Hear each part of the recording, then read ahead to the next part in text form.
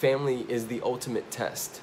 You know, it's easy to be shiny and awesome and and and feel like you you've made so much progress in your personal development journey when you're in your little controlled bubble and box. It's a whole nother ball game when you go back home and they are still holding you as little so and so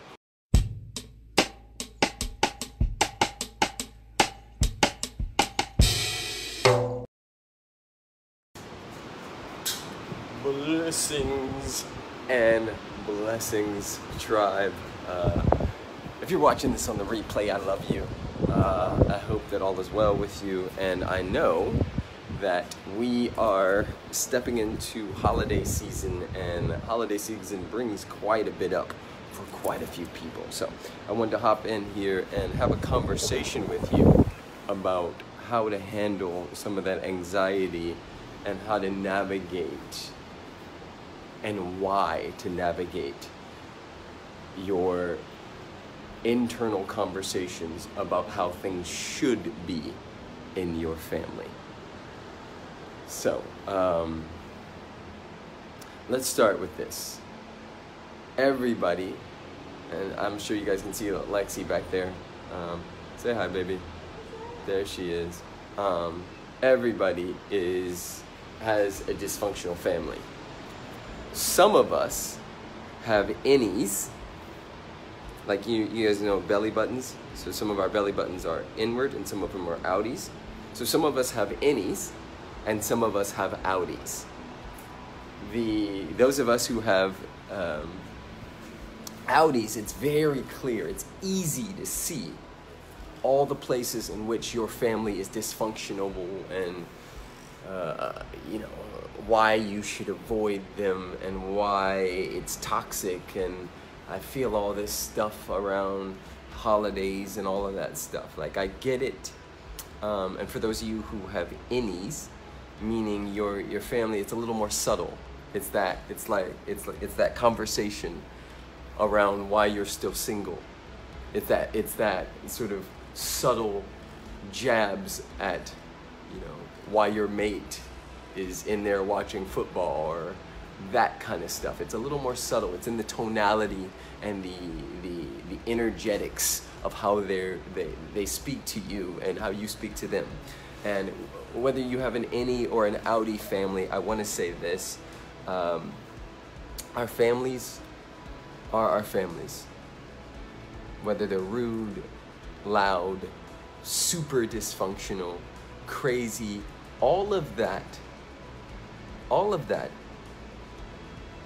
is what has helped you and molded you into the beautiful human that you are.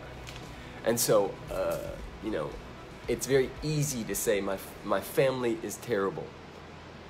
My family is this. My family is that, and that's why I stay away from them all year. For me, family is the ultimate test. You know, it's easy to be shiny and awesome and and and feel like you you've made so much progress in your personal development journey when you're in your little controlled bubble and box. It's a whole nother ball game when you go back home and they are still holding you as little so and so or um, you know there's the subtleties of you being the black sheep in the family or you being the you know the golden child. And their you know the, the pressures of not allowing them or to see the ways in which you aren't living up to that label. Is this resonating? Do you guys get what i'm saying here? All of this is a part of why it's deeply necessary that each and every one of us if we have a family to go back to, that we go back to them and we love on them and we love on ourselves. And I want to talk about this idea, right? So a lot of clients have come and they, they, they have this internal conversation about either or. It's either I, you know, I go see my family or I don't. It's either I, you know, um, curse my dad out and I hate this whole thing or I love it and I swallow my own conversations and pride and all of that stuff. And I'm, I just want to bring into the, in, into the space and into your awareness that it doesn't have to be either or. You, you can have both. It's a both and conversation. So you can have boundaries and, and enjoy your time. One of the things that I do in my family, and I'm sure they do this with me, I'm, I'm almost certain they do, because I've been such an asshole for so many years especially when I first started waking up, I'd come back and I'd try to get everybody to juice, and I'd be judging how they were feeding their kids, and I'd be judging, you know, what we were eating and what they were watching on the TV and all of that stuff. And, you know, the, the quickest way to screw your life up is to take everything personal. The quickest way to disconnect from your family is to take it all personal. So for me, I do my best to find this whole thing funny. I find it funny. I, I allow myself, and I just want to give you guys a little view of our Gold Coast little situation here. The whole front end of the house opens up. So you can keep pushing that all the way open. So every morning I walk out here and it's just pure gorgeousness. Now, uh, I'm, I'm, I'm saying and I'm reminding you once again that it's not an either or conversation because the moment we take it off the table of this being some personal thing, right? Like I'm the youngest in my family, so of course I'm little Preston and I'm little, little, little, and they have all these memories about me and who I wasn't, and now it can be very difficult to hold me or see me or be with me in a new context when man is in the room. That can be very difficult. And so I can either take that personal and say, oh, they're still trying to demean me and keep me small, or I can understand that everybody's in a process. We're all learning something new all learning something new, including the newness of who we are in this now moment.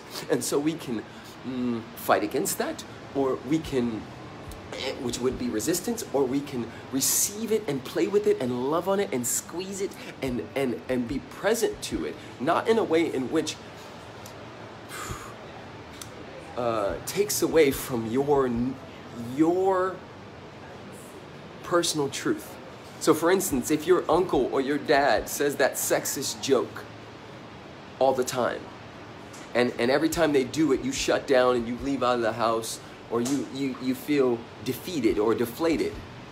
This time, maybe you call your dad or your uncle out on that and still choose love, still choose joy, still choose peace and harmony, still choose to understand that that is a form of love as well, right? Because we're always teaching people how to be with us. So if you uh, continuously allow them or someone, you know, to, to speak into your life, for instance, some of you may go home and you dread the question, you know, when are you going to have a girlfriend? Or when are you going to have a boyfriend? Or when are you going to bring a man home? Or, or when are you going to have babies? And are you going to freeze your eggs? You're getting a little old. If all of these type of conversations come into the space, and you dread these conversations, and you, you run away from them, and you disconnect, you're doing yourself and them a disservice by not facing off with it. Being okay with things not being okay for a moment, possibly, while also simultaneously holding that it's possible that it doesn't have to be either or. Is this all making sense? Is this making sense? I hope it is, guys.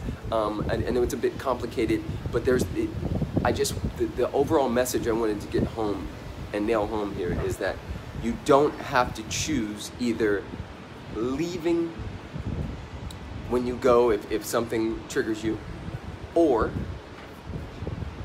compromising your truth. The two can live together that's the place to lean into. That's the place to, to sort of swim in. And it is uh, a really beautiful thing. You know, at the end of the day, our families are the ones that will be there if we got into a car crash or got some, you know, crazy disease or something of that nature. Like, they are the ones that would be there. And so, as much as we like to um, avoid or judge them,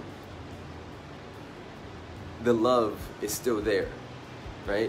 Whether they are your chosen family or your blood family, the love is still there. And, you know, for me, you know, for instance, my sister, and she may watch this, I know my dad will probably watch this, and I love you, daddy. Um, my sister, you know, she's the only person in the world who knows what it's like to have our mom and dad and to be raised where we were raised and to have all of the experiences that we had. And because of that, I have a deep love for her. And I know that I have been not the greatest brother in so many ways. I've held her in her history. I've gone in thinking they're going to judge me, and while they, I'm thinking they're going to judge me, I'm judging them. That's not fair. My family is so freaking loving. I'm so weird and crazy, and they just love on me, and they they they they never turn their backs on me. Like it's it's a big deal, and so, from my heart to yours, like don't, please don't bite the bait or believe the lie that you can't create a win-win in your family situation. And I want to leave you with this. Very rarely do we embrace, make eye contact, and really drop in with our family. So if you have an opportunity to be with your grandmother, your cousin, your mom, your dad, whoever, who you haven't seen in a while, stop and be with them. Truly look at them, breathe them in. If you're feeling froggy, give them a hug and actually hold on to them. You know? Family is a big deal. Peace. Love you guys. If this resonated, A, tag a family member, B, share it. Blissings and blessings from Gold Coast, Australia. All right, y'all.